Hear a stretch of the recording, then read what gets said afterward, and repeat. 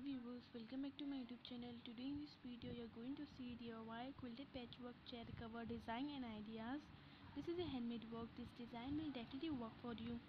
With this help of design you can also make it yourself or you can order it. I hope that you love all design and ideas if you love my all design and ideas so please do comment in the chat box because your comment is very precious to us.